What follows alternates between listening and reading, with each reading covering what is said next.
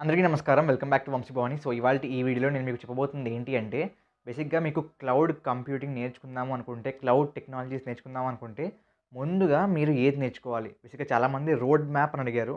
But road map కంటే important ఏంటి అంటే what are the prerequisites అంటే మీరు క్లౌడ్ కంప్యూటింగ్ అనేది నేర్చుకోవడం ప్రారంభించడం కంటే ముందు ముందుగా మీకు ఏమి తెలిసి ఉండాలి అనేది చాలా ఇంపార్టెంట్. బికాజ్ ఐ మీన్ ఈ పాయింట్ ఎందుకు చెప్తున్నానంటే చాలా ఆన్లైన్ కోర్సెస్లో వాళ్ళు మీకు ఎగ్జాక్ట్ ఫ్యాక్ట్ చెప్పరు.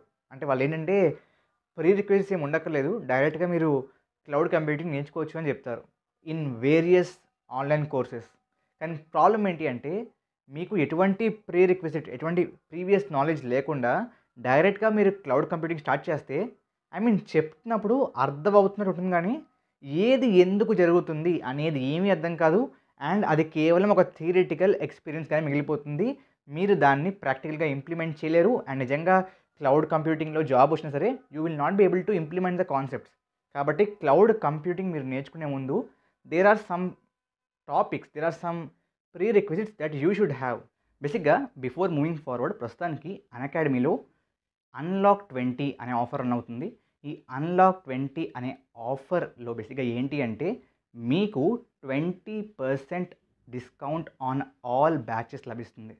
సింపుల్గా మీరు చేయవలసింది ఏంటి అంటే వంశీ టెన్ అనే కోడ్ వాడండి. అండ్ బేసిక్గా limited time offer. Okay? So ఖచ్చితంగా చెక్ చేయండి. ఒకవేళ మీకు ఇంట్రెస్ట్ ఉంటే I mean this is a very good opportunity for you all.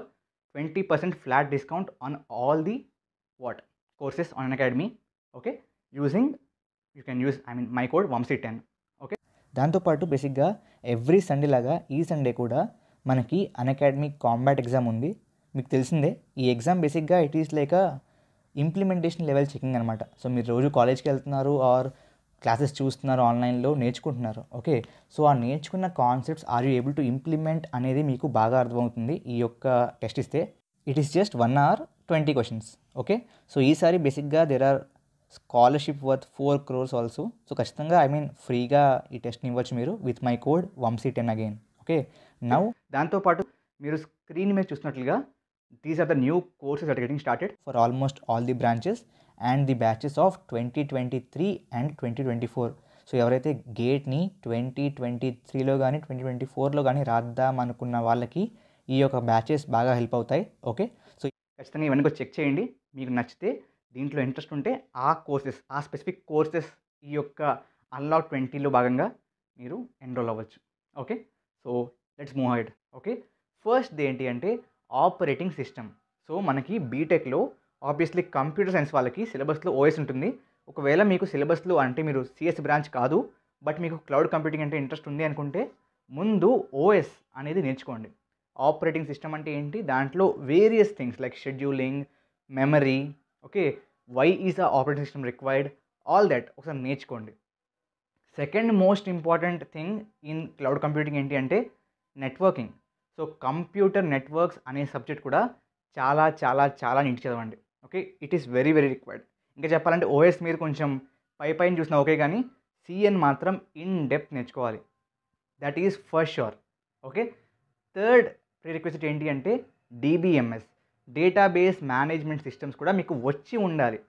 ఒకవేళ మీకు డీబీఎంఎస్ అంటే ఏంటో తెలియదు మీకు ఆర్డీబీఎంఎస్ అంటే తెలియదు నో ఎస్క్యూల్ అంటే తెలియదు బేసిక్గా మీకు ఐడియా ఏమీ లేదు అన్నప్పుడు ఆ క్లౌడ్ కంప్యూటింగ్లోకి వెళ్ళాక ఏ డేటా స్టోర్ సెలెక్ట్ చేసుకోవాలి ఏ డేటాబేస్ సెలెక్ట్ చేసుకోవాలి అనే ఐడియా మీకు ఏం ఉండదు. ర్యాండమ్గా ఏదో తీసుకుంటారు ఏదో ఇంప్లిమెంట్ చేస్తారు. And that's having no point at all. కాబట్టి ముందు డీబీఎంఎస్ రావడం కూడా చాలా ఇంపార్టెంట్. ఓకే? ఈ మూడు సబ్జెక్టులు వచ్చాయనుకుంటే ఆఫ్టర్ దాట్ మీరేం నేర్చుకోవాలంటే బేసిక్గా క్లయింట్ సర్వర్ ఆర్కిటెక్చర్ అంటే ఏంటి అని నేర్చుకోవాలి. క్లయింట్ అంటే ఏంటి? సర్వర్ అంటే ఏంటి? అనేది నేర్చుకోవాలి. ఆ తర్వాత వెబ్ సర్వర్స్ అంటే ఏంటి? అపాచీ అంటే ఏంటి? బేసిక్గా ఎందుకు వాడతాం అపాచీ? వెబ్ సర్వర్స్ అంటే అసలు బేసిక్గా ఏం చేస్తాయి? మన కంప్యూటర్ని మనం ఒక వెబ్ సర్వర్గా ఎలా మార్చచ్చు? ఓకే? ఇవి తెలుసుకోండి. ఆ తర్వాత తెలుసుకోవాల్సింది ఏంటి అంటే బేసిక్గా ఏపీఐస్ అంటే ఏంటి? ఏపీఐ మీద వాళ్ళకి వీడియో చేశాను. ఆ వీడియో బేసిక్గా మీకు ఒక ఇంట్రొడక్షన్లా ఉంటుంది.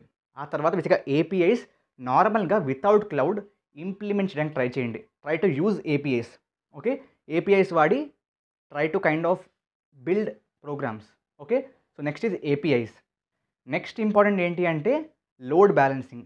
లోడ్ బ్యాలెన్సింగ్ అంటే ఏంటి? బేసిక్గా సర్వర్స్ మీద లోడ్ వచ్చినప్పుడు how is it distributed? Okay? Gateways అంటే ఏంటి?